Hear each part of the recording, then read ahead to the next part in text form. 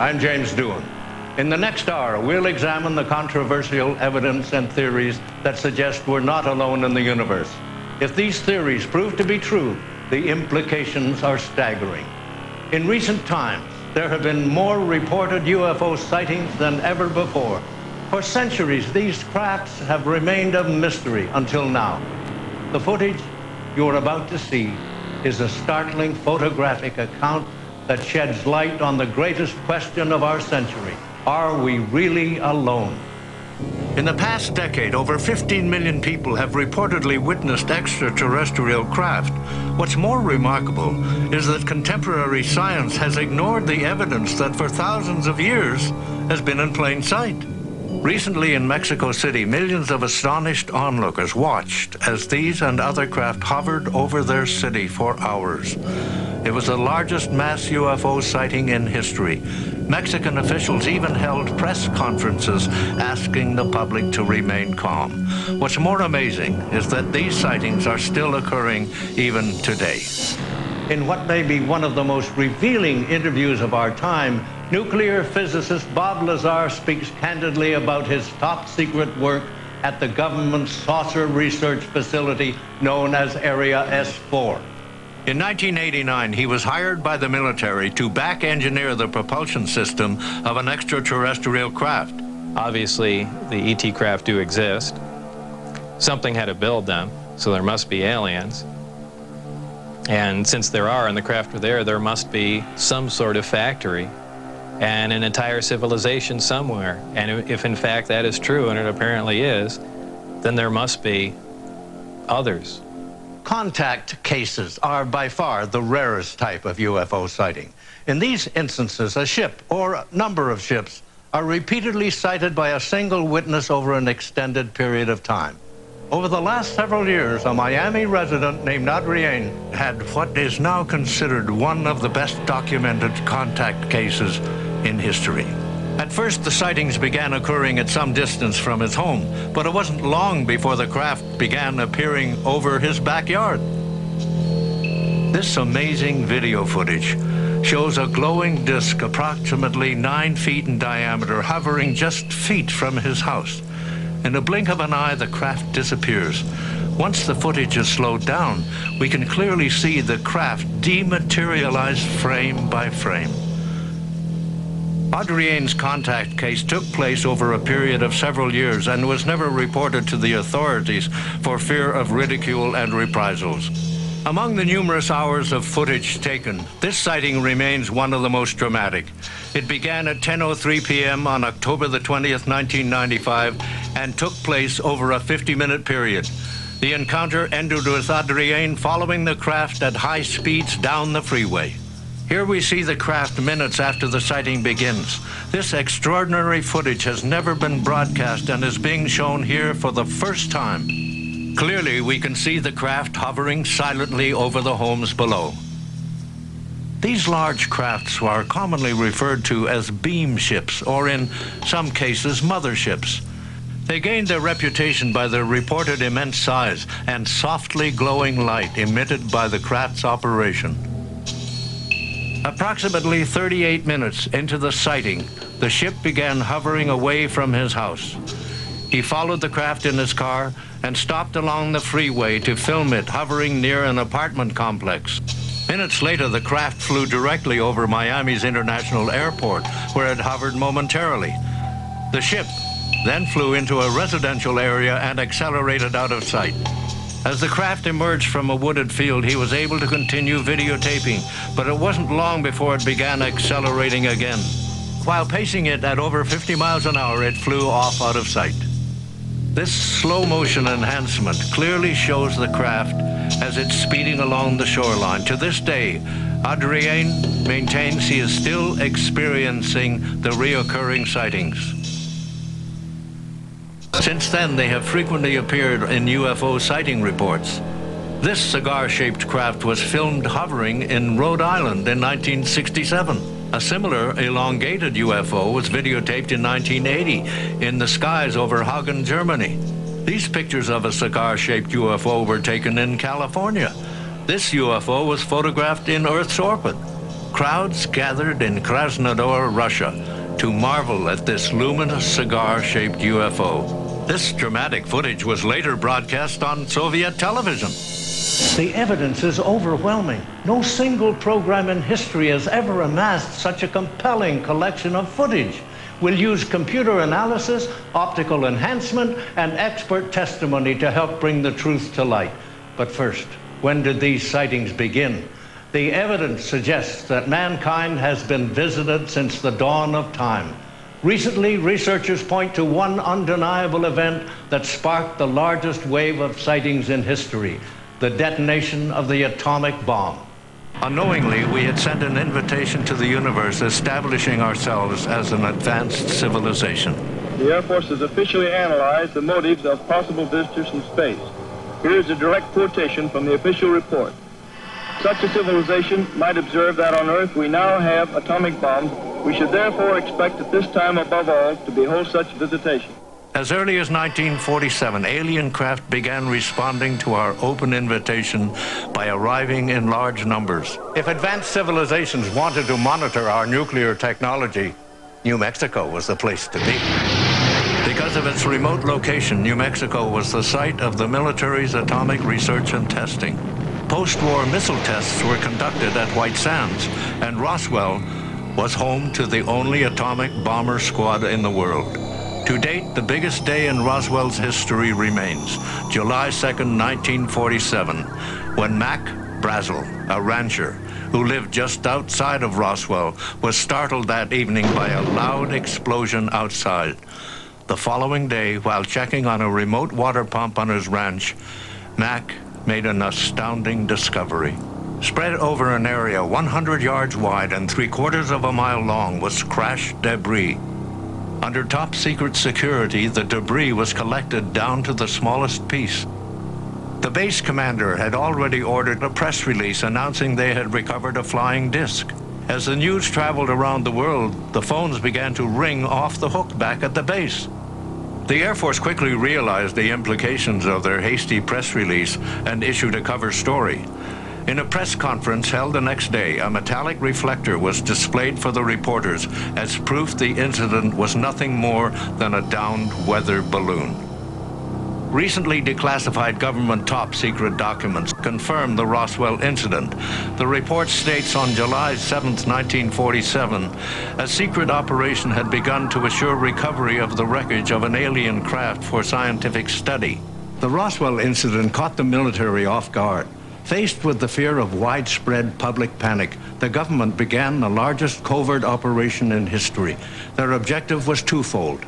First, research the alien visitors and their craft, and second, divert the public's attention away from the subject of UFOs. In response to the Roswell crash, then President Harry Truman formed a special investigative team of 12 hand-picked scientists and military officers to manage the situation. Secretly known as Majestic 12 or MJ12, the panel's directive was to research the UFO phenomenon and keep it out of the public eye. Recently, private lawsuits and the Freedom of Information Act allowed for the release of many top secret documents from this era.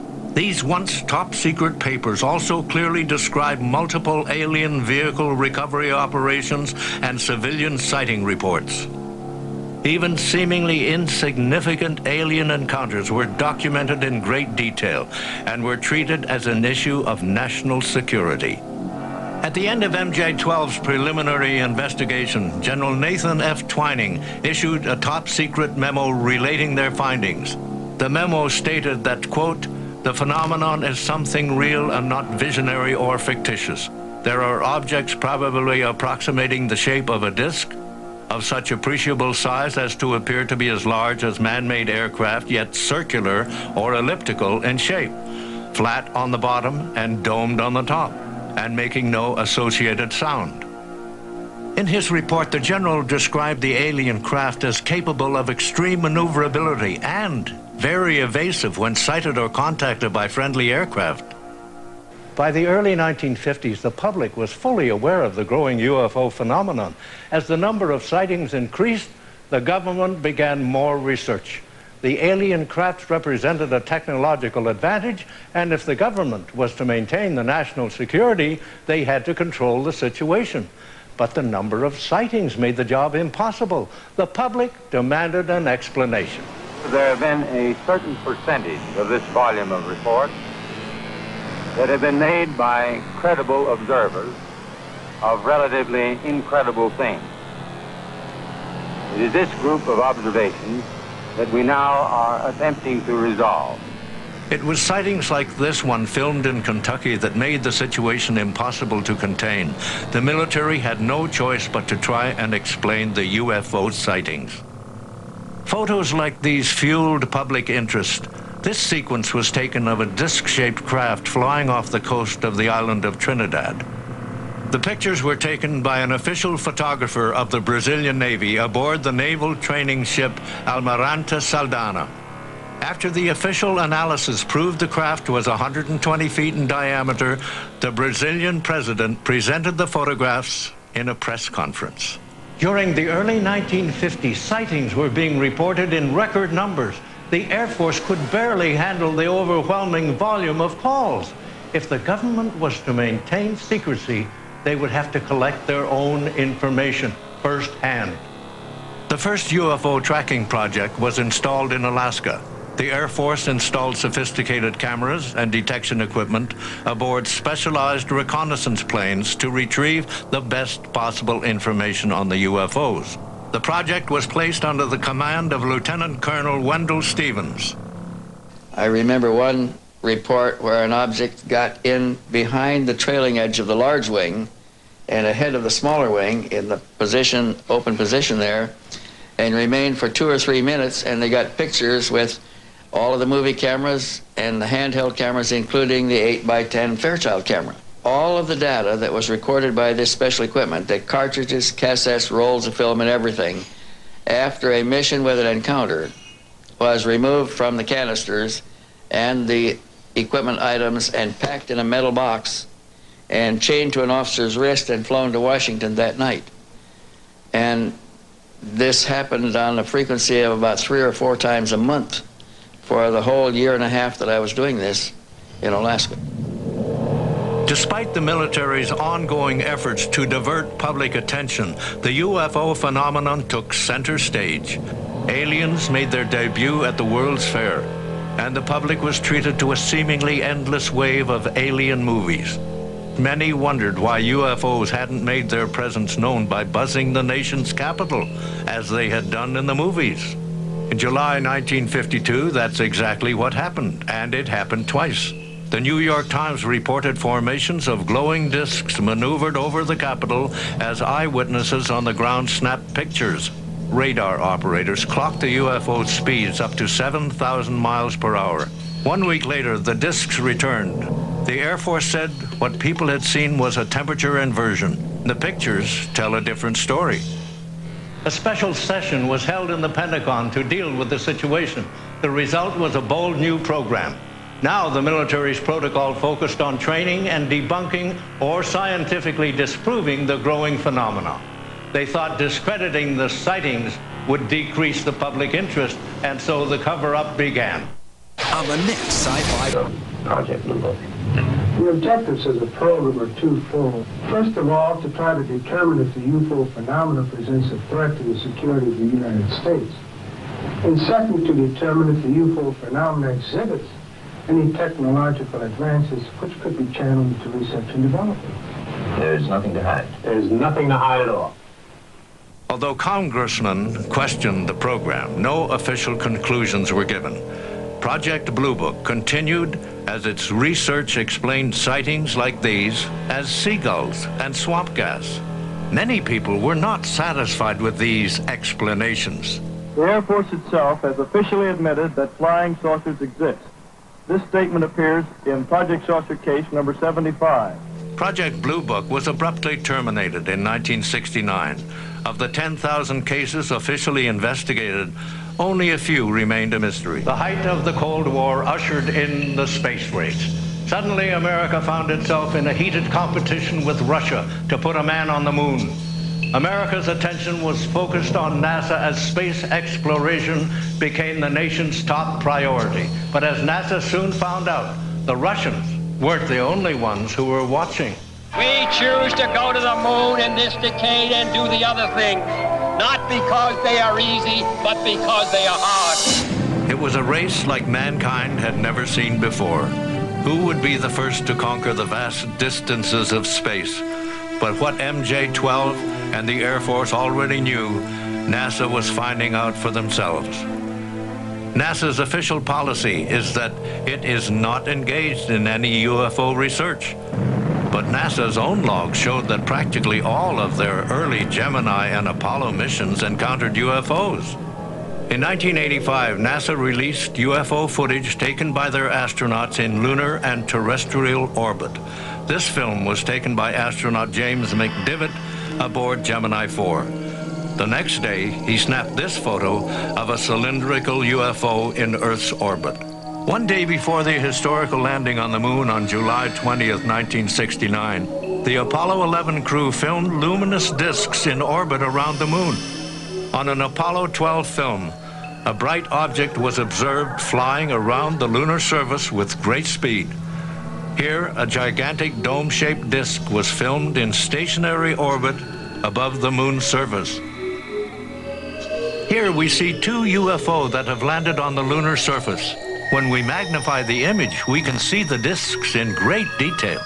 Even though NASA doesn't officially recognize the alien craft, it has its own extensive written policies governing contact with extraterrestrial life forms. In the mid 1970s, NASA launched the Viking probe. Its mission was to map the surface of Mars. Viking relayed back these pictures of unexplainable structures from the Cydonia region of the planet. Viking's low orbit pass photographed these structures in detail, revealing several giant pyramids and what appears to be a face carved in stone.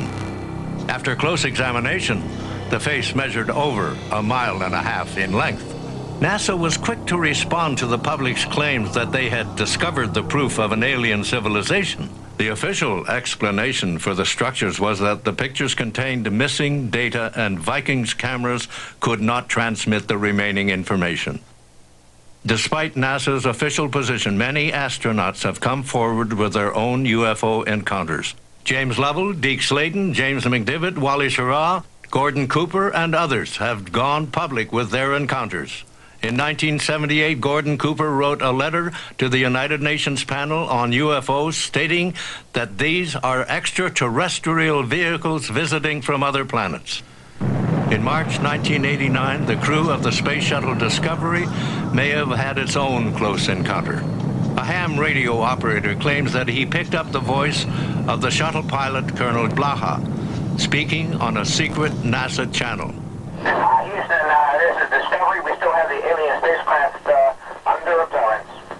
NASA maintains that this is not Colonel Blaha's voice. Another space shuttle mission filmed several disks in high altitude orbit traveling at several thousand miles per hour. Shortly thereafter, NASA began scrambling all shuttle transmissions. Despite the evidence, NASA maintains their official position and has explained these encounters as space debris or spatial anomalies. The turmoil in the 1960s diverted the public's attention away from the UFO phenomenon. Incidents like the Vietnam War and Watergate aided the government's debunking program. By the early 1970s, UFOs were no longer the topic of national interest. But despite the government's successful efforts, the sightings continued to increase in numbers. Some experts believe that this is the world's best UFO film. It was taken by Matt Lane Rutherford in Silver Springs, Maryland. Mr. Rutherford took footage after twilight as the disc hovered over his backyard. Scientists examined the footage and concluded the craft appeared to be maneuvering in its own gravitational field took this picture of a metallic craft as it circled his house. In 1978, a terrified housewife in Spain snapped a picture of these UFOs while watching the sunset. This footage was taken by an Australian TV crew on December the 31st, 1978. This luminous domed craft appeared to have a rim around the center and two large portholes. It maneuvered at such an incredible speed it left this track on a single frame of film. No known conventional aircraft can fly at such speeds. In 1978, the United Nations released statistics showing that since 1947, 63,144 UFO sightings were reported. That's approximately one every four hours. Even President Jimmy Carter had his own alien encounter. While governor of Georgia, he filed this seven-page UFO report stating he spotted a glowing object hovering for 12 minutes in the skies over Georgia. The report was personally signed by Carter himself. This dome-shaped craft was filmed by a television crew from New Zealand in January 2, 1979. We can clearly see the craft from the top. The disk appears to be rotating while emitting a blue glow. An identical craft was photographed in 1952 by a Brazilian journalist in Rio de Janeiro. Here we see the dome is visible from two angles and the side is surrounded by large portholes. This sighting was filmed from the parking lot of the Rio Casino Hotel in Las Vegas, Nevada. When the footage was enhanced, a disc-shaped craft can be seen with a dome on the top and a series of portholes surrounding the craft. In 1991, this footage made worldwide headlines. These two discs were videotaped in a suburban neighborhood just outside Ottawa, Canada. Both UFOs landed in what appears to be a prearranged site. This footage became known as the Guardian sighting. In 1991, eyewitnesses screamed as a photographer took this picture off Manhattan Island as a disc emerged from the river and flew off. This craft was photographed rising out of the water in Australia as it docked with a smaller dark object. This UFO was spotted in Denver, Colorado as witnesses watched from a neighbor's backyard. In the mid-1990s, startled eyewitnesses filmed these craft as they hovered silently in the night skies. In the months following, similar craft were videotaped on three different continents. It was rare that sightings like these gained much national attention. But President Ronald Reagan's speech to students at Fallston High School soon changed all that. Suddenly there was a threat to this world from some other species, from another planet uh, outside in the universe, we'd forget all the little local differences that we have between our countries. Two years later, President Reagan made international headlines when he repeated the alien theme to the General Assembly of the United Nations. Perhaps we need some outside universal threat to make us recognize this common bound. I occasionally think how quickly our differences worldwide would vanish if we were facing an alien threat from outside this world. President Reagan's speeches started the public asking questions again. The Cold War era created a defense industry based solely on high technology. As the stealth bombers rolled off the assembly line, rumors surfaced that the military was test flying recovered alien craft at a secret government base known as Area 51. If the military was going to test fly alien craft, Area 51 was the perfect place to do it. Located some 125 miles outside of Las Vegas, it is one of the least populated expanses in the United States. Area 51 is surrounded on three sides by military testing grounds and hidden from public view behind the Groom Mountain Range. This Russian satellite photo shows the base as it appeared in the 1960s. Since then, Satellite images have shown the base has expanded immensely. Only a handful of photographs of the base exist, and until recently, the government officially denied its existence. This rare and never before seen footage of the base was taken by amateur photographers risking imprisonment if accidentally venturing on government land. But in the mid-1980s, the government seized the adjacent public land, closing off all access to any prying eyes. Sophisticated detection equipment monitors the public BLM land surrounding the base, and private security forces patrol to deter any unwanted lookers. These unmarked black helicopters are used to buzz automobiles, scaring off UFO buffs hoping to snap a photo. But it's photographs like these taken over the Groom Mountain range that seemingly confirm the rumors. very little actual footage exists of the reported test flights. This amateur videotape shows what eyewitnesses saw hover over the base for several minutes before landing. Area 51 has been called the best known secret military base in America. The rumors subsided, and in 1996, the state of Nevada renamed the highway which runs parallel to the base. In a massive dedication ceremony open to the press, thousands watched as the governor of Nevada unveiled road signs proclaiming Highway 375 as the extraterrestrial highway. Now, former government employee and nuclear physicist Bob Lazar breaks his silence. In this extraordinary interview, he discusses his classified work at the military's top secret saucer research facility known as S4. Bob Lazar is a nuclear physicist specializing in advanced propulsion systems. In 1989, he was hired by the military to back engineer the propulsion system of an extraterrestrial craft. Lazar worked at what is undoubtedly the most top secret research facility in the world, S4. There was no, absolutely no ET craft, ET technology, anything like that at Area 51. This is why S4 was made specifically to separate it there. People at Area 51 do not have the clearance. According to Lazar, the military had not been test flying alien crafts at Area 51. Rather, the discs many had videotaped and photographed were actually being flown out of S4, just several miles away. The S4 facility is an area just off the Papoose lake bed, dry lake bed. And it consists of nine hangars. The hangars have uh, sloped doors on them with a sand texture coating at the time that I was working there at uh, McCarran International Airport in Las Vegas, there was a Special Projects EG&G building. When I was told to go to work, I drove there, parked my car there, got in a plane at the airport, flew to Groom Lake, where I deplaned and waited for a bus, and the bus drove me down to uh, S4. The first disc I saw, I believe it was the second or I, I think it was the third time I was up there. Upon seeing it, it, it struck me that, well, this explains all the UFO sightings. Not thinking that it was an extraterrestrial craft, that this must have been some advanced form of fighter that we've been working on for years, and you know people have just caught it being tested, so on and so forth. And uh, it never even occurred to me, even though I was looking at an extraterrestrial vehicle, that you know this wasn't man-made.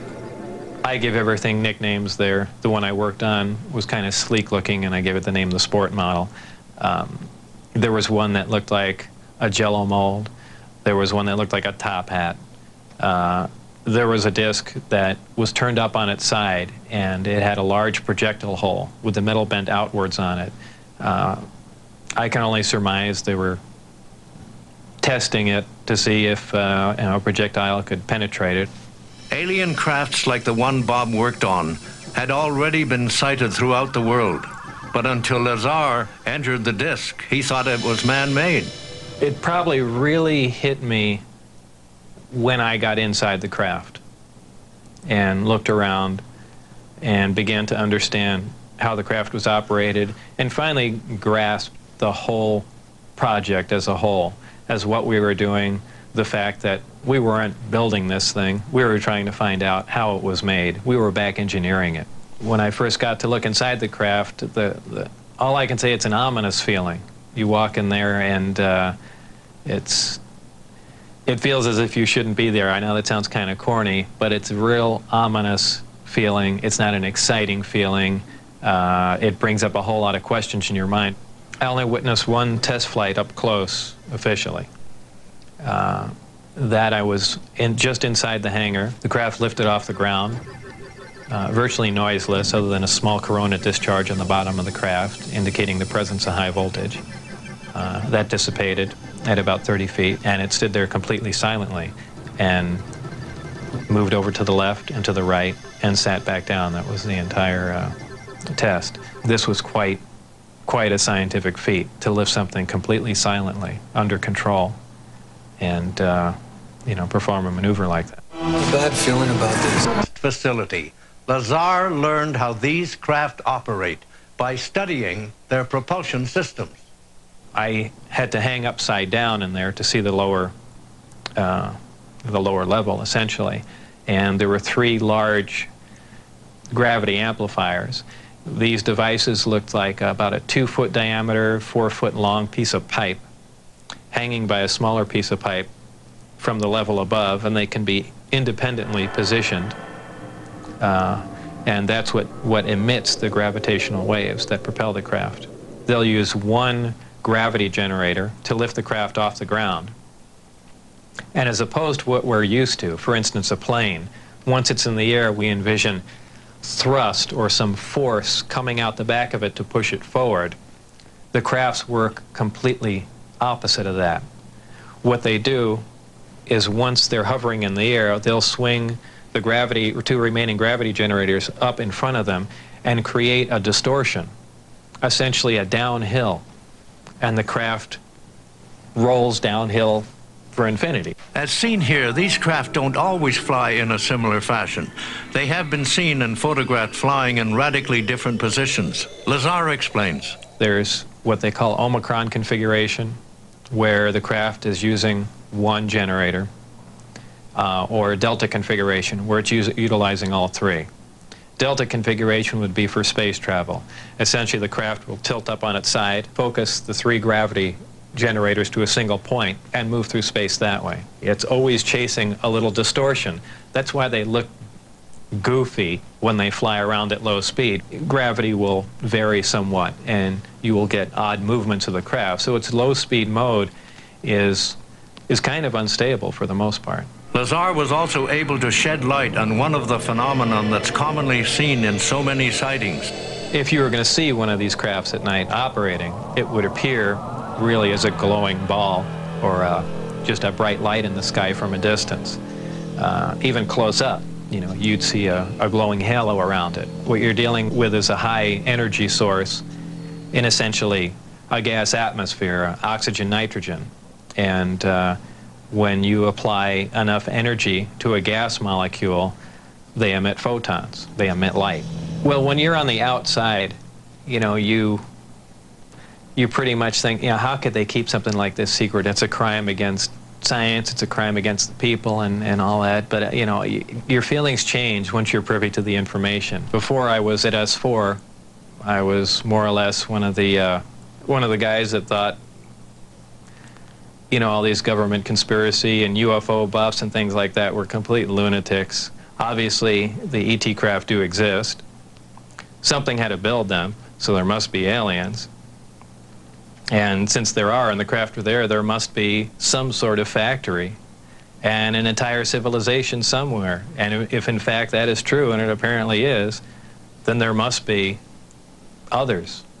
One of the least known aspects of the UFO phenomenon may be the most chilling. With today's sophisticated computer technology and special effects, it's possible to fake a picture or alter video. But this modern technology hasn't always existed. We've uncovered startling new evidence that suggests that mankind has been visited since the beginning of recorded history. This is the oldest known picture of a UFO sighting. Or is it? The earliest recorded sightings occurred in Pakistan over 7,000 years ago. In this dramatic Stone Age cave painting, we can clearly see a human-like being wearing what appears to be a helmet, complete with antenna. In the background, we can see a classic saucer-shaped craft. Archaeologists discovered this 15,000-year-old cave painting in southern France showing disc-shaped craft flying over ritual hunting grounds. So many saucer-shaped craft were depicted, the archaeology team put together a catalog to illustrate the various shapes and sizes. In a Japanese cave painting, we see a large luminous craft hovering over a crowd watching from below. Throughout the Middle Ages, we can also see evidence of similar flying ships. In some cases, the craft resembles saucers photographed in modern times. This fresco in a monastery in Yugoslavia shows a manned craft flying above the people below. This painting was found in one of the oldest churches in Russia. It shows two flying discs with on-looking faces observing the crucifixion. Much about man's oldest civilization, the Sumerians, remains a mystery, except that the remnants of their ancient culture inexplicably appears even today, and their preserved records show contact with alien beings. A recent crop formation found in England depicts two worlds in contact above the Sumerian symbol translated to read, the nobles with their flying starships. As shown in these videotapes, most of these crop formations coincide with UFO sightings. In 1975, the first documented contact case took place in Switzerland. A farmer named Billy Meier made international headlines by taking hundreds of photographs and filming 20 minutes of what some consider is the best UFO footage in the world. Edward Billy Meier is the eyewitness in one of the most famous yet controversial UFO cases in history. He gained worldwide attention by going public with his alien encounters. Despite the clarity of his photos and films, they remain controversial because he claims to have been in contact with the alien visitors. On January the 28th, 1975, he had his first sighting in the Swiss countryside of Hinwil. According to Billy, he heard a low-pitched hum as he looked up to see a silver disc-shaped craft descending upon him. He was able to snap off a few shots with his camera. One month later, on March 8, 1975, Billy photographed this ship moving along the tree line. This was one of the first UFO pictures to be analyzed by optical computer enhancement. An independent lab confirmed the photograph had not been altered and was considered genuine. March 29, 1976 marked the appearance of a new disc Meier later referred to as a variation Type 4 craft. Shortly thereafter, Billy was able to obtain metal samples from one of his encounters. This electron microscope footage of the metal samples was part of an analysis conducted in the United States. Two laboratories independently confirmed the combination of metals were intricately machined, cold fused together, and could not have been produced here on Earth. Shortly after Billy's encounters began, he started to bring his 8mm movie camera with him and filmed several amazing sequences of hovering craft. Perhaps the most striking piece of evidence in the Meier case is this film clip of a metallic disc hovering over a road below. In this daylight shot, we can clearly see the graceful motion of the metallic disc as two different cars drive directly under it. Yet despite Meier's efforts and the hard physical evidence, skeptics maintained that the photos and footage were too good to be true. By April 4th, 1978, the contacts had stopped. Billy claims to have had a total of 105 sightings over the three-year period ever recorded. Guillermo Arguin from Mexico City was the first to come forward with this footage. When optically enhanced, it clearly reveals the rotating motion of the metallic disc. Meanwhile, 85 miles away in Puebla, a cameraman took this footage of a nearly identical craft. Split screen enhancement shows the striking similarities between the two. Another witness filmed this craft. The computer enhancement reveals further details of the craft during the mass sighting. This footage was videotaped from the northeast section of Mexico City. Enhancement reveals a pulsating field on the lower half of the craft. Miguel Torres filmed this disc as it moved through the central part of the city. When optically enhanced, a corona discharge or burst of colored light can be clearly seen on the bottom of the craft. Of the 2,000 hours of videos taken, these six were picked for comparative analysis. All reveal the same metallic-shaped discs as photographed from the different parts of the city. David Froning, a field propulsion expert, was brought in to analyze this footage. You see the fact that it probably is of a metallic-like structure because you can't see reflections off, off the edges. The phenomena you see here would be indicative of an effective field propulsion system. I should mention that we do not know how at the present time to perfect effective field propulsion. If there was just nothing here, it would not be as, as dramatic. In the days following the eclipse, the sightings continued to grow in numbers. This luminous object was filmed as it flew across the city.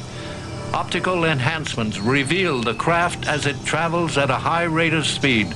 This UFO was videotaped from an apartment balcony in the city. The photographer filmed this craft as it maneuvered around an industrial building and vanished out of sight. While filming this car commercial, a television crew was caught off guard as they filmed a luminous craft streaking across the sky. This rare UFO formation was taped over Atlixco. Similar formations of craft have been videotaped in Florida and in Belgium. Split window comparison shows the similarities. Public outcry for an official explanation forced the government to respond to the mass sightings. In the only press conference held on the subject, the mayor of Atlixco asked his citizens to remain calm as there were no reports of injuries or damages caused by the alien craft. In one of the more dramatic moments, this amateur video captured a metallic disc traveling through the clouds as it stopped in midair and reversed direction. No conventional aircraft can fly in this manner. UFO were even present during their Independence Day celebration. A military parade and a massive air show commemorated the occasion. As jets flew overhead, a metallic disc suddenly appeared. When the jets tried to intercept the craft, it accelerated, leaving them in its wake. In the last hour, we've shown you photographs, film clips, videotape, government files, and expert testimony documenting one of the greatest mysteries of our time. The evidence is overwhelming. From ancient artifacts to modern day sightings, the evidence presents itself. Now only you can decide. Are we really alone?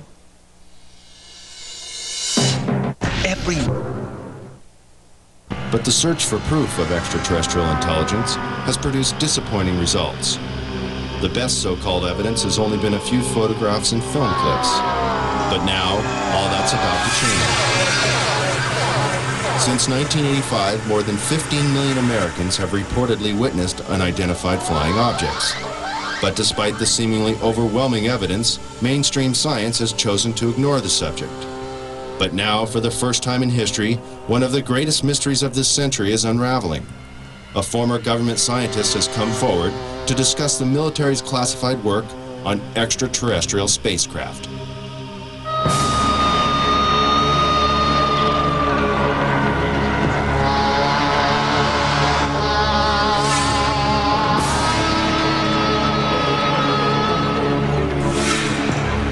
Human advances in technology have exploded in a million directions and show no signs of slowing down. The ever-increasing pace of achievement in the last several decades is unparalleled in human history.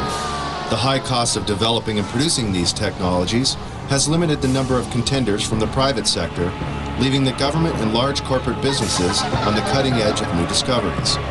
Always in the public eye, big business competes for high-paying contracts, working night and day to invent or further develop the next big thing to satisfy the masses. The government, on the other hand, must conceal information concerning national security that for obvious reasons should not be public knowledge. But when it comes to matters concerning the welfare of our planet, the living beings on it, or potential clues to the mysteries of the universe, many believe it should be our right to know. The end of World War II and the invention of the atomic bomb signaled a new era of international mistrust. Since the earliest days of the Cold War, which coincides with the Roswell incident and the start of the modern UFO era, the military has been especially secretive about its advances and achievements while always searching for the perfect weapon or super sophisticated tool of espionage.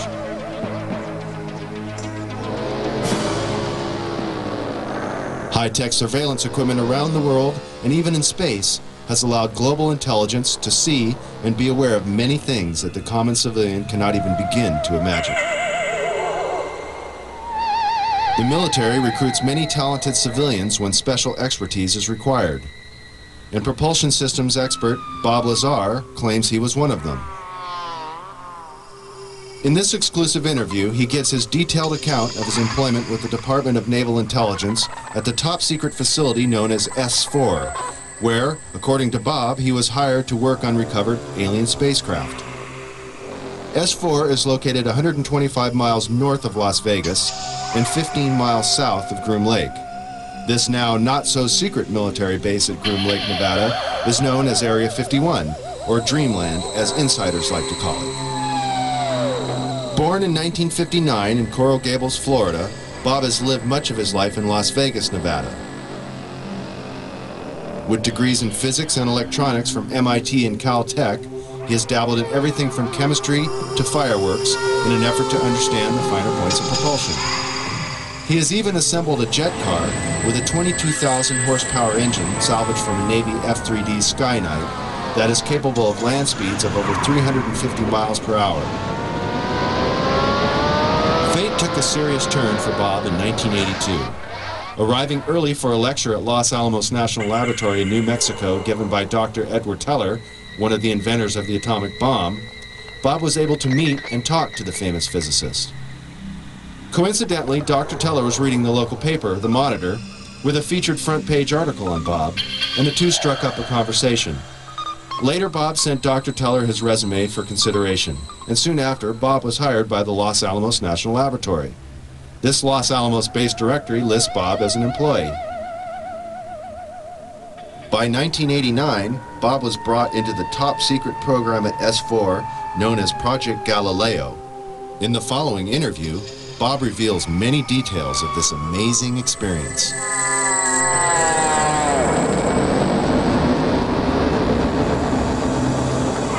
Did you witness any disk technology at Area 51? No, there was no, absolutely no ET craft, ET technology, anything like that at Area 51. This is why S4 was made specifically to separate it there. People at Area 51 do not have the clearance.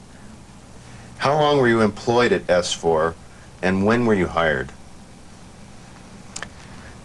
When was I hired at S4? I guess early 89 and I was probably there only about six months or so uh, on a very infrequent basis. How were you transported to and from work? At the time that I was working there at uh, McCarran International Airport in Las Vegas, there was a Special Projects EG&G building. When I was told to go to work, I drove there, parked my car there, uh, and got in a plane at the airport flew to Groom Lake, where I deplaned and waited for a bus, and the bus drove me down to uh, S4. The S4 facility is an area just off the Papoose lake bed, dry lake bed, and it consists of nine hangars. The hangars have uh, sloped doors on them with a sand texture coating. Around the opposite end of the hangars, there's the standard entrance where you're dropped off at, go through a security check, and inside there's a small complex. Uh, there's some office space, There are several laboratories, the hangars themselves, of course, and uh, a few other places. I didn't have free reign to go wherever I wanted to. Everywhere I went to, I was essentially escorted, so uh, that was really all about that uh, I saw inside the facility, uh, what was the basic layout? Were there underground levels? I don't think there were any underground levels to it, though there, there could have been. I, I don't think it was, uh, you know, an extensive underground facility. It just looked like uh, an installation that was butt up against a mountain.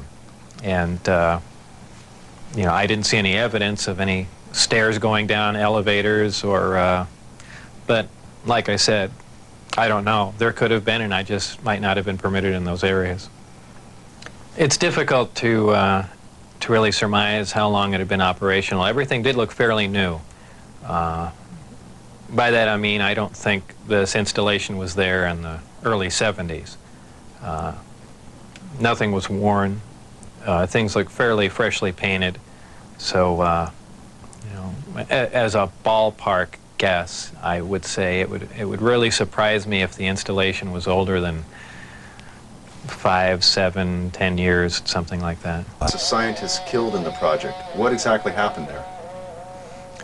Allegedly, obviously, I, I didn't see this and I don't know it to be fact, but this is what I was told, that I was hired uh, to replace one of a couple people that were killed uh, while working on one of the reactors from one of the crafts. Apparently, they for whatever reason, cut open an operating reactor, and the device exploded, killing both of them.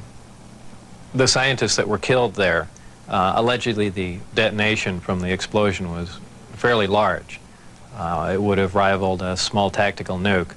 So it was done at the Nevada test site, and it was to be passed off as an un unannounced nuclear, nuclear test. Did you have any direct contact or communication with aliens? No, not at all. Tell us about the briefing files. Under what conditions did you gain access to them? I was put into the briefing room with 121 or 22 briefings and really was just told to sit and read through them. I think they were there just to mainly educate me on, on what was going on. They weren't a complete in, in-depth explanation on everything else, but just uh, essentially a brief synopsis on some of the other projects that were going on there. Supposedly, the information, now this isn't something that I determined, it's something I was told, that uh, the crafts originated from uh, a planet that orbited the Zeta Reticuli star system. Zeta Reticuli 1 and Zeta Reticuli 2 are two two stars of a binary star system. Uh, the craft allegedly came from there. One or two autopsy photographs I saw uh, dealt with just a small photograph, a bust shot essentially, just head, shoulders, and chest of an alien with a uh, uh chest was cut open in T fashion and one single organ was removed. Uh, the organ itself in the, in the other picture was uh, cut and vivisectioned essentially. The showing the different chambers in there. Uh, this was totally unrelated to anything I was doing, but from that photograph, it looked like what you see in UFO lore as the typical gray. So how tall it was from what I could see, I, I couldn't tell because I only saw a portion of the photograph. But if everything else you see is correct, I would imagine it was three and a half or four feet tall. But uh, there again, you know, all I had to see was a photograph and you know, I didn't have much to go on. What was the incident in 1979 that brought the alien exchange program of information to a halt? Again, this is a story that was relayed to me. And uh, allegedly, what happened in 79, there was some sort of information exchange going on where there were actual live aliens at the facility. And at one particular point, there was an area where some security personnel went to enter and apparently because not the sidearms, but the bullets in the sidearms, from what I understand, if they would have entered the area, the bullets would have detonated.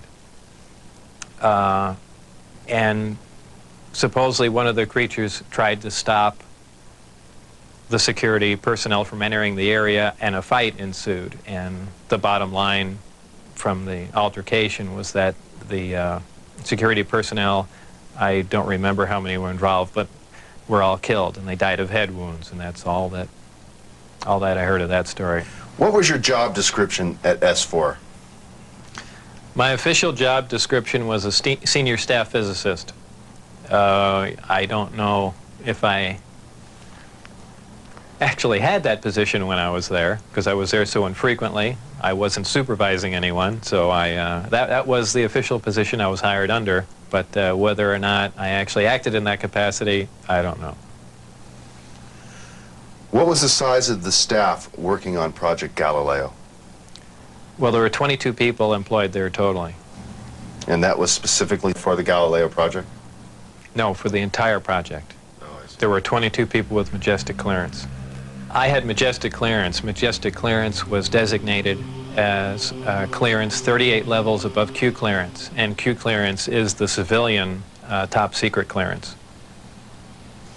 When did you see your first disc?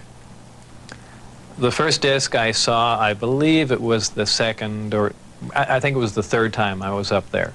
Uh, normally the bus pulled around to the opposite end of the facility, which was the main entrance, and that's where we went in.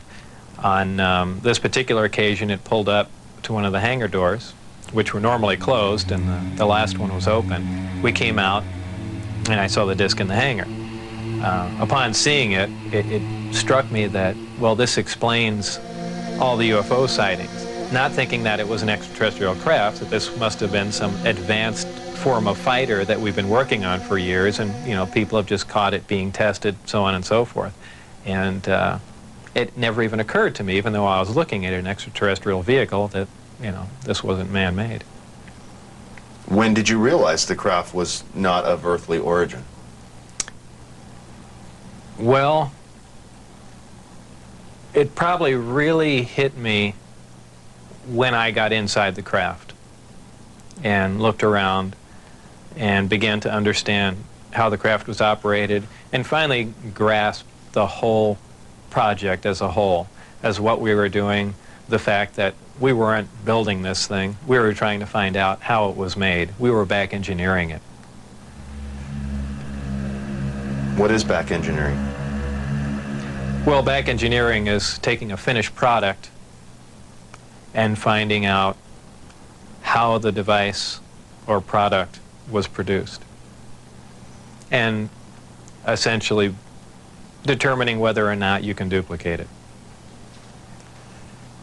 Now, scientists aside, what was your emotional response? What were you thinking were the implications to the world or man in general from these revelations? I really didn't think about implications of, of, of that sort. As far as emotionally, uh, people have asserted that, boy, that must have been the most exciting time in your life, and I, that's not the way it was. When I first got to look inside the craft, the, the all I can say, it's an ominous feeling. You walk in there and uh, it's, it feels as if you shouldn't be there. I know that sounds kind of corny, but it's a real ominous feeling. It's not an exciting feeling. Uh, it brings up a whole lot of questions in your mind. Well, where did this come from? And you know that they won't give you the answers to the whole story, but it's, uh, that's the only way I can describe it. I would like to talk to you about a recent discovery in the Antarctic. It produces a gravity wave, which is similar to the gravity wave that the Earth produces. However, the craft phase shifts the wave. In other words, it, it turns the wave not really in an opposite polarity, but something to that effect, where it will work against the natural gravity wave of the Earth, and it produces lift in, in that effect.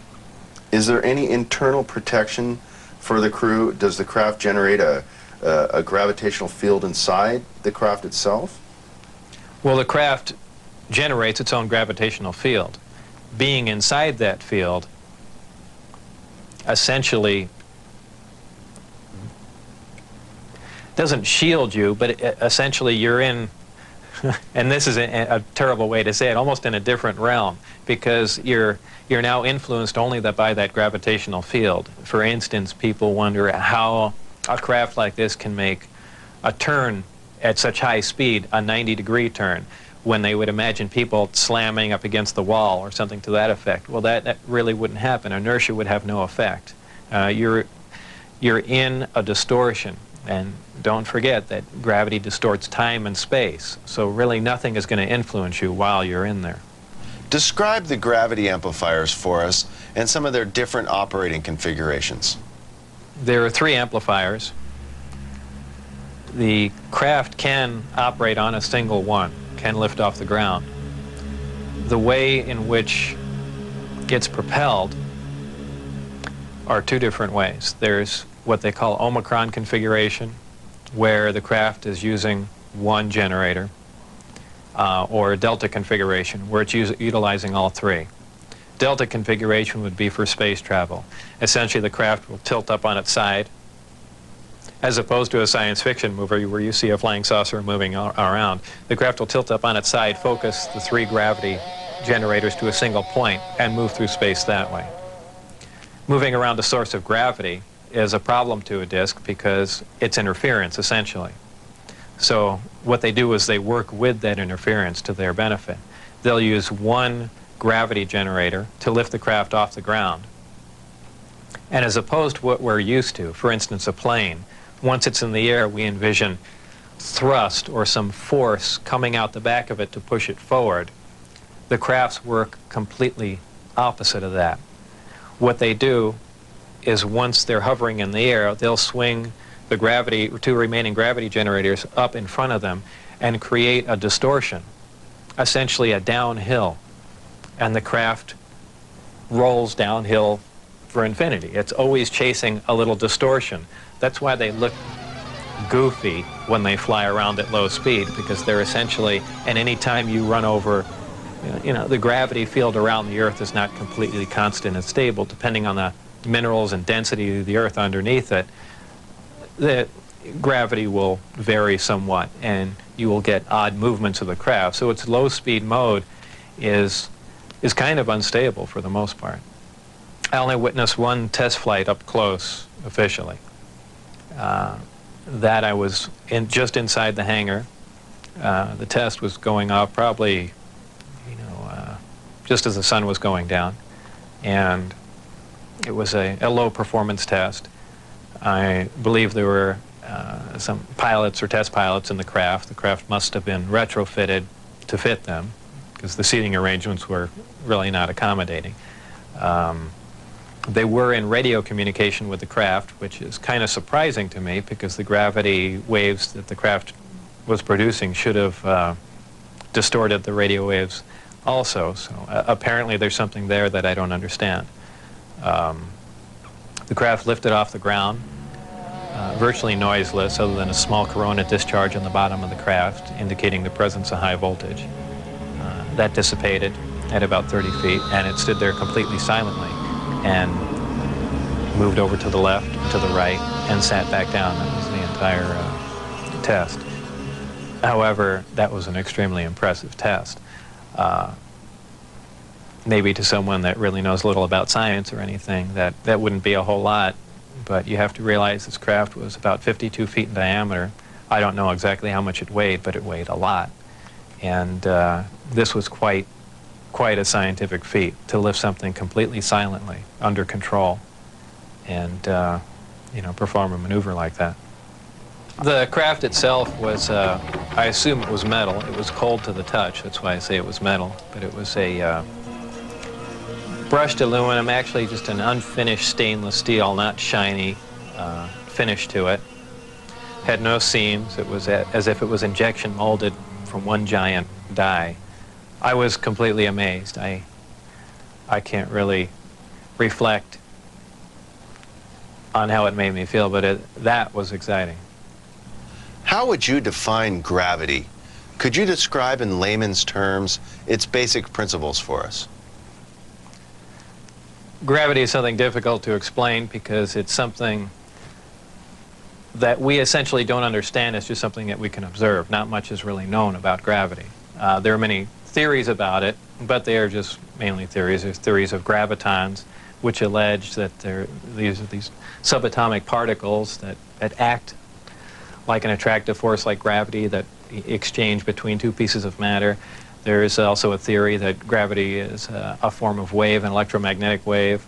Uh, but basically, gravity is a force it's, uh, it, it's the attraction, it, well, it's the inherent property of matter to have gravity, a mutual attraction for each other. And that's, it, it's basically all that we really know. Modern science, current science right now, identifies one gravity. It's one force in nature. Uh, apparently, through research at S4 or information gained from one of the crafts they were researching there, uh, it appears that there are two different forms of gravity. One form works on an atomic scale on subatomic particles, holding pieces of matter, holding atoms themselves together. Uh, another works on a larger scale, the scale we're most, most familiar with, uh, holding planets in orbit, holding ourselves to the ground, things of that sort. Because it produces a gravitational field, it, I, I wouldn't say the craft is invisible during the day. However, if you're under the craft, because of the way the gravity is being used, gravity bends time and space and it, it bends light. If you are looking underneath the craft or from certain vantage points, you will actually see what's above the craft. It's, a, it's really a trick of the way light bends under the influence of gravity. For instance, we can see stars that are behind the sun, that are blocked from our view by the sun. The reason we can see them is because the sun is a tremendous gravitational field and it's bending the light around it where we can see the star. Space-time and gravity are all essentially interrelated. They all act on one another. Gravity bends space. Gravity also distorts time. When you vary one, you essentially vary the other two.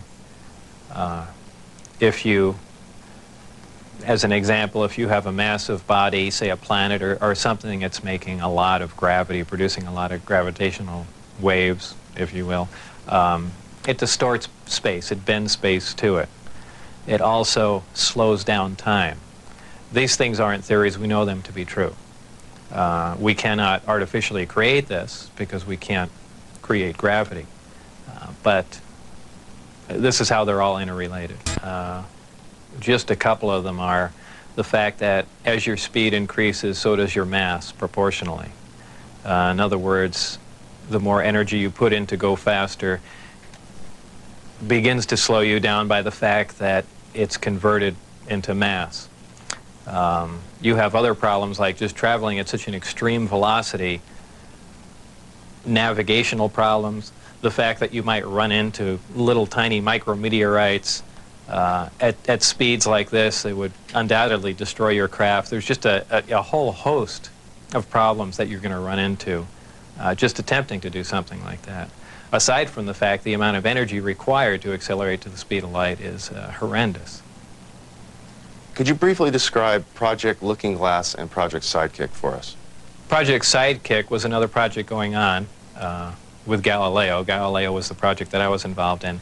Sidekick dealt with any of the weapon potential of the craft, whether or not the craft had a weapon in it or could it be used as a weapon, but it had something to do with some sort of particle beam uh, configuration where the gravity generator can be used as a lens to focus focus a weapon of some sort, similar to the SDI device we were working on in the uh, the 80s, but with the potential of a focusing device using the uh, gravity generator.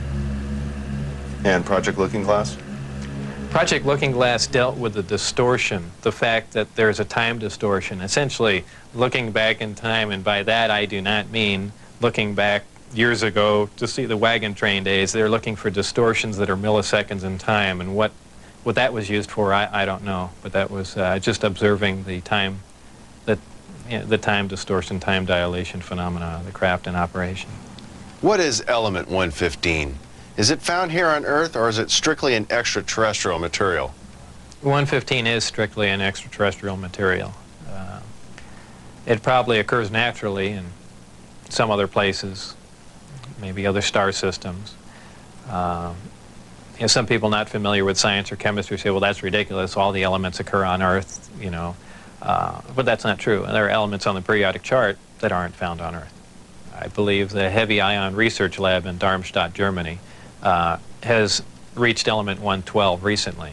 So 115 isn't, isn't that far away. And when they synthesize it, it's not like they're making a, a couple ounces of it. They're talking about one or two atoms of it. To make any usable quantity of a heavy element like that is virtually impossible. Element 115 is in the top of the reactor. And the base of the reactor apparently is a small, something similar to a cyclotron. It's a particle accelerator. Uh, a particle is accelerated to high speed and then deflected up a small tube, and it's aimed at the 115. This transmutes the 115, uh, similar to the way we, we do that in a normal particle accelerator. Uh, this causes a, a reaction, a radiation emission that we really haven't seen before. Um, it produces antimatter this antimatter is guided down a tuned tube and reacts with a gas. When matter and antimatter react, they convert to 100% energy.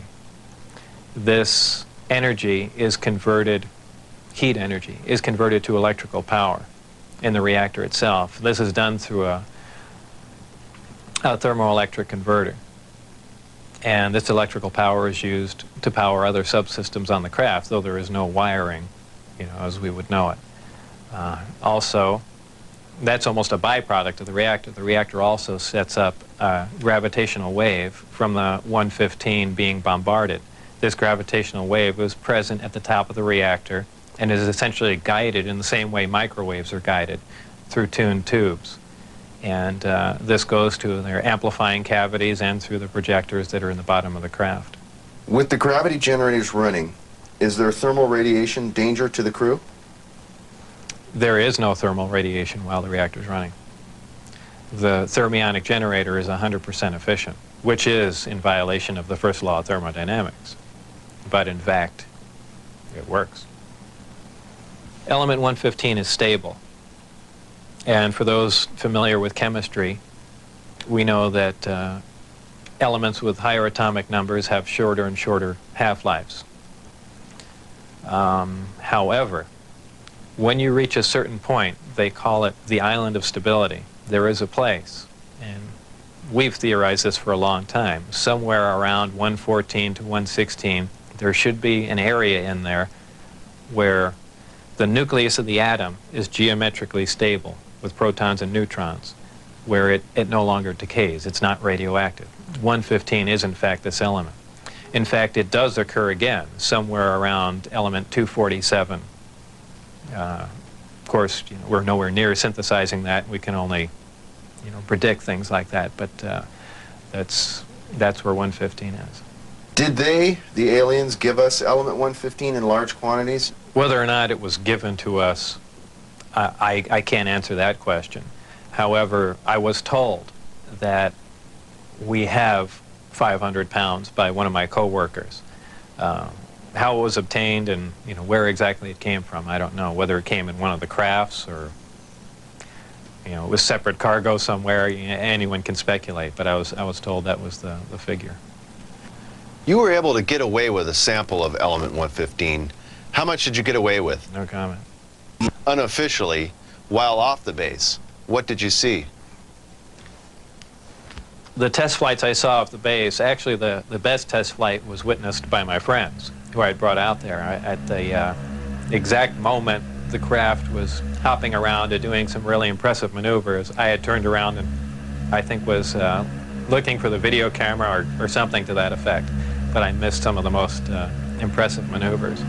But the craft was uh, similar to what was done before that I had seen close up, other than the fact that it went above the mountain range uh, moved a, a much greater distance at a much higher rate of speed.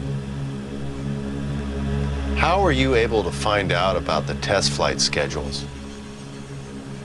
The test flight schedules were told to me uh, specifically because I was probably going to have to be present during those times. And at that time, the test flights were taking place on Wednesday nights. And from what they said, that was because that was uh, statistically the least amount of traffic in the area. And that's all that they were concerned about. Does the propulsion system release any sort of discharge or exhaust? There was a high voltage discharge on the bottom of the craft, but uh, as far as there being an exhaust, there was none. Why do they appear as glowing balls of light in the night sky? Well, that's kind of the same reason why a neon light or a fluorescent light lights up. What you're dealing with, with is a high energy source in essentially a gas atmosphere, oxygen, nitrogen.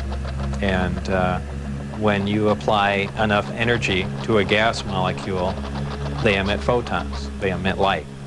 And uh, I don't think it's anything, it, it's a, really a byproduct of how the craft operates. When it's uh, emitting that much energy, the gas surrounding the craft emits light, the same reason why lightning is visible. You have a huge electrical discharge, and the gas emits light in the form of lightning bolt.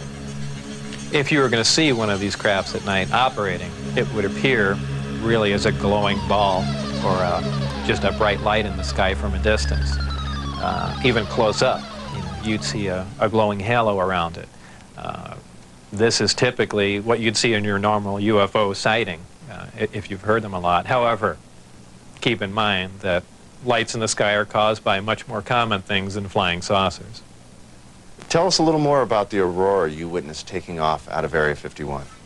It was a large craft, and the one glimpse I got of it was from the rear, and it had two huge square exhausts with vanes in them. And uh, it was just, it sounded more like a rocket than a jet. I don't know. I even think he did mention that it was liquid methane powered, but um, there again, you know, working on the disk technology, I really could care less what was rolling around at Area 51, but uh, it, it, it did catch my eye. As a result of going public, have there been any attempts made on your life? One day when I was getting on um, Interstate 15, driving down Charleston Boulevard, uh, a car came up alongside of me, and uh, I thought he was just trying to race me to get on the freeway. Uh, this was after I had left the project. Um, it was a white, boxy-looking car, exactly what make and model, I don't know. But um, I accelerated to get on the freeway to go fast, and there was a gunshot, and the back of the car was hit, and I skidded off into the uh, median. And I stopped, and I was frightened, and I just stood there because I thought the guy was going to be alongside of me and just shoot me. I had nothing to do. I was essentially paralyzed with, with fear, and I waited there, and then nothing else happened. And do I know it was a government agent trying to kill me? No. Could it have been a drive-by shooting? Maybe. Uh, you know, so it wasn't I mean, it was an attempt on my life, but by who specifically, I, I don't know. Though I was threatened uh, before I had left, that they threatened my wife's life and my life, so I can only put two and two together and say that they were kind of pissed at me. In an earlier interview, you had mentioned that they had put a gun to your head. Tell us about that. That was after we were caught out when I had the test flight schedule, and uh, I brought some friends out to show them the disc test. Uh, we got caught out there, and the following day I was debriefed down at Indian Springs Air Force Base, and um, I was in the room with the security guards that caught us, my supervisor and some other people, and uh, some the security personnel. Uh, yeah, they were essentially grilling me about security and, you know, how could I possibly bring people out there? And uh, I guess I wasn't as responsive as they would like, they got in my face, and one of them pulled a sidearm out, you know, just pushed it against me. Have you maintained any contacts with your colleagues out at S4? No, I never heard from anyone other than for a very brief time after I left, Dennis, who was my supervisor, did try and make contact with me at the, uh, the meeting place was the Union Plaza Hotel. And I took a, a friend of mine, Gene Huff, down there, and another friend, uh, a former colleague and scientist from Los Alamos. And we did uh, we saw him, but I also did recognize some security personnel walking around there from S4. So whether or not it was a setup or what was going on or he was trying to talk to me, we never found out and we left. It just was a, a real strange situation. I never heard from him since. As we enter the 21st century, how has your experience changed your beliefs? Well, if you want to word the question, how are my opinions changed? Uh, I would say considerably. Before I was at S4, I was more or less one of the uh, one of the guys that thought, you know, all these government conspiracy and UFO buffs and things like that were complete lunatics. Um, I even remember before I was involved there, a friend showed me a little newspaper clipping and said John Lear was giving a lecture who was uh, touting that aliens from another world came to Earth and there's 70 different species. And I remember laughing on the phone that this guy had lost his mind. And uh, I was also under the impression that, you know, boy, the government's all for the people and they, you know, you know, they're out here to protect us and all that. You know, after the experiences I had there, uh, everything is completely turned around. You know, the, the government is doing everything but uh, looking out for us. I mean, the only thing they're looking out is for themselves. You know, uh, obviously the ET craft do exist. Something had to build them, so there must be aliens. And since there are and the craft are there, there must be some sort of factory and an entire civilization somewhere. And if in fact that is true, and it apparently is, then there must be others actual crafts and technology from another world. And uh, that's probably the most important event in history. It kind of moved from science fiction into reality, in my mind. And uh, it really just, I guess, opened my eyes. Said and done. Would you do this over again? What would you do differently? I would probably have played along for a longer time. Um, I would like to have known a little bit more about the technology and uh, probably kept quiet if I could have. Um, and possibly never have said anything. Uh, I almost wish I had done that. You know, it, it's uh, it's really only caused headaches and problems. But um, I believe if I was given the opportunity again to go back in time and redo it, I think I pretty much would have just shut up and gone along with the program. I would have much preferred that instead of the Navy or whoever it was uh, that hand-picked a few renegade scientists here and there, that they turn it over to some more qualified people. Obviously, I was not the most qualified person on propulsion or field propulsion or anything of that sort. I was just some guy. I mean, they could have picked, I could have named 10 or 12 other guys that were more qualified than me. But, um, you know, if they turned it over to the scientific community and not just a couple guys here in the United States, I mean, you need a large group of people in a large lab to research what's going on there, uh, not a little quiet installation. It's the, it's the security itself that prevents them from getting anywhere. I mean, it, it, they never do work hand in hand. You can't have a, a military mind. Science itself must communicate. You have to have a free exchange of ideas. That's how things progress. And when you clamp down on a security system like that, where you work in isolated groups, and ideas cannot be exchanged, you don't get anywhere, and that's, that's the problem they have. What does the future hold for Bob Lazar? Well, I'm not really involved in any of that stuff anymore. That's kind of put behind me. Um, I have my own businesses that I work at, uh, computer graphics, uh, some consultation, um, other technical jobs, uh, radiation detectors, and a few other things like that. Um, so really, I just go about my life, and that's, you know, something that happened that was fantastic, and, and it's over, but uh, it's kind of hard to shake it loose. But eventually I will, and that'll be that. I think all the surveillance and everything stopped. I don't think anyone's bothering to monitor me. I've, I've said everything that I know. It's been all over the place, so it's kind of uh, a done deal. As far as whether or not there are any craft out there, I believe, you know, they were out and gone in probably the late 89, early 90. And the only thing people see now out there are you know, either flares or planes coming into land, but uh, that's about it. Did you have an interest in flying saucers or science fiction in general as a child?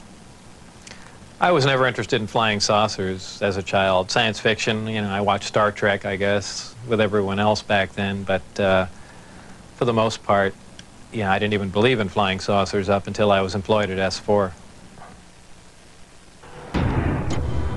But this amazing flying structured craft has no earthly explanation. It was seen over the small farming village of Kibbutz Hatzor for three consecutive nights in August of 1996.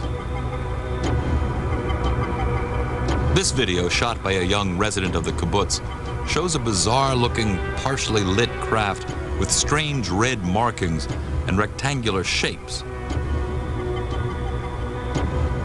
When the camera zooms in, we see what appears to be a light on the craft's left side take on amazing structure. The structure, some say, resembles a huge flying building with hallways.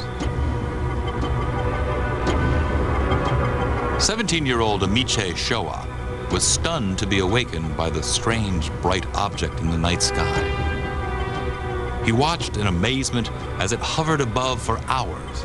He waited for its return the next night, video camera in hand. By the third night, word of the strange craft had spread, and some 60 members of the kibbutz came out to see it in all its glorious color. This time, Michi's batteries failed, but he managed to film the odd craft again using a neighbor's camera. Look what he managed to capture on tape. The structure is so massive that the illuminated portion is said to represent only 5 to 7% of its actual size. Is this the design of some otherworldly architect? As incredible as it sounds, some UFO researchers claim it could be housing alien inhabitants, giant aliens as described in the Bible.